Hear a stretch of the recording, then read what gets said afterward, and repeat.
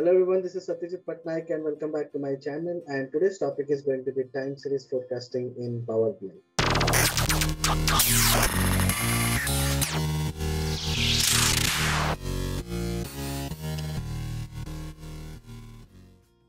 Now, I think most of you have already seen some of my videos. I, I do have an end-to-end -end video on Power BI which explains from scratch till intermediate level and definitely will have a very good understanding if you go through all kind of videos. Apart from that, recently I have also provided two end-to-end projects and I'm also working on a couple of more projects. And coming on to time series forecasting, I think most of you might already be knowing about time series forecasting. It's nothing but when you deal with the time series data, when you have a date column and you have some other column, basically we have to forecast. For example, you're forecasting weather let's say you have data for the last 12 months you have the weather data from the last 12 months and you want to forecast it for the next one month or two months. So any kind of data which has a time parameter in it is basically called as time series data. The the analysis which has been done on time series data is called as time series analysis. And if you are doing some kind of forecasting some kind of predictive modeling and that basically called that basically is termed as time series forecasting now, I do have an end-to-end time series forecasting video using Python.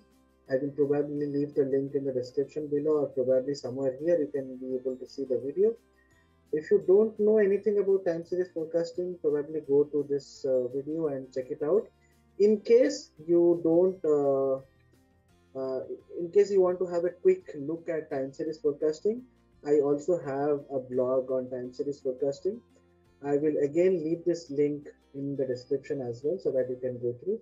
It's a very old blog, three years back, but I think it will give you a good understanding of what time series forecasting is all about. Okay. Now, when it comes to algorithms, there are a lot of algorithms inside uh, to analyze time series data. Uh, the traditional algorithms are ARIMA. There are different versions of ARIMA, AR, MA, ARMA, ARIMA, SARIMA, Sarima, S Arima, whatever people call it uh, in different names. We do have Holt-Winter linear method, Holt-Winter exponential smoothing. Um, there are a lot more Garch methods and uh, LSTMs, Facebook Prophet. There are a lot of traditional methods, or you can say there are a lot of algorithms which deals with time series data. And uh, of course, using Python, we have done a good amount of learning previously Today's video is more focused on Power BI part, how to do the time series forecasting in Power BI. Now in this particular video, I'm not going to talk about the Python part. It's entirely the, eh, the end-to-end time series forecasting is going to be done in the Power BI itself. Okay, but I will also give you a hint about what's the backend algorithm which is being used. Okay, I'll talk about that. So for this particular video, I have used air passengers data in case you don't know about air passengers data. It's a very commonly used data set. Uh, maybe number of passengers data is there from january 1949 till december 1960 so almost 12 years of data and 11 years of data sorry 11 years of data. So as you as you as you've already seen i have just created a, a text box here and here I have just created a line chart. Okay. In the line chart, I have used month as the axis, which is my x-axis, and values is my passengers, which is my this particular thing. And this is a cumulative box, okay, cumulative window, uh, cumulative uh, data. Now, we already have data from 1949 Jan till December 1960. Now, what if we want predictions for the next six months? Okay, now, what we need to do here is click on this, uh, click on this graph, go to the formatting options. In the formatting options, you will see all kinds of formatting which you need. If you need labels, if you need the color to be changed, all these things can be done here. Okay. When it comes to the field section, whenever you are changing your fields or putting your fields, everything is done here. Apart from these two, we also have a third category, which is your analytics. So click on your analytics once your analytics is done, you can see there are a lot more things here. Trend line. What is trend line? It will basically tell you what's the trend, if it is an upward trend or a downward trend. But in this video, you can just explore everything. Whatever options are possible, what whatever options are available to you, you can just explore that. So that's that's the beauty of Power BI. You can simply explore explore a lot of things. So you can see these are the two major things which we will be using for this video. We are focusing on the forecast part. We will have another video on anomalies part. Okay, so what is forecast? Forecast, you can see there are there is an option of add. So if I click on add, you can see here there are some parameters which is visible, which is forecast length. Forecast length basically means how much steps are you going to forecast. Now this is a monthly data so let's say we want to do six months of forecast. So I want it to be six, six points. Simple. Okay. Ignore last. What is ignore last? Ignore last. I'll talk about that in in couple of minutes. But let's just skip at the moment. Ignore last is null. Confidence interval. You can see first of all the data is not visible to me. I'll just click on. Uh, one second. I'll just click on this and let's change it to let's say okay. Now you can see the forecast is visible. Coming back to the confidence interval. Confidence means with 95% confidence we can tell that the final prediction is going to be within the range of this 95% confidence. If i increase the confidence the the the width of the predictions will decrease when I say predictions, that means upper bound and the lower bound. So it's basically giving you a forecast and it also gives you a forecast upper and a forecast lower. Okay. Let's say I'm making it 75%. You can see the data will decrease. Like the, you can see the width has decreased, right? Now, if I talk about 99%, the width is increasing. That means with a 99% confidence, we can tell that this data point is going to fall under 537 and 419 that's the importance that's the meaning of this confidence interval. So we'll keep it as 95% okay i'll click on apply. This is how the predictions looks like. Now if you want to do uh, actual versus predicted let's say uh, let's say just imagine you have 10 years of data.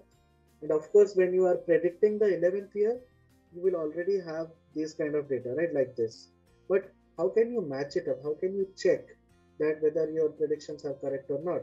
So what we usually do is we instead of 12 months, uh, 12 years of data, uh, whatever the example was, let's say 10 years of data. Let's say I had 10 years of data. What I will do is I will try to do a forecast on the last year itself, so that I also have the actual data, actual 10th year data, and I also have the predicted 10th year data, so that we can match it up.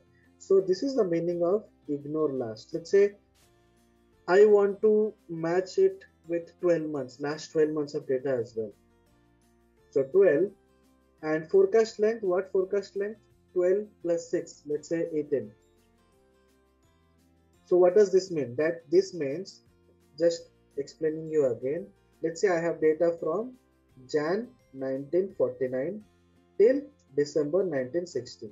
Okay, if I keep the ignore last as null and give a forecast length as 6. That means I'm predicting for Jan 1961 till June 1961. As simple as that. Okay. But I'm not able to match up. I'm not able to compare whether my predictions are correct or not. Right. So what we do instead of this, I will change my ignore last as 12 and forecast as 18. So here the predictions will be from Jan 1960 till June 1961. So here from Jan 1960 till December 1960 you already have the actual values. So you can compare it how the output is. So 18 and 12 and just click on apply. Now you can see. See.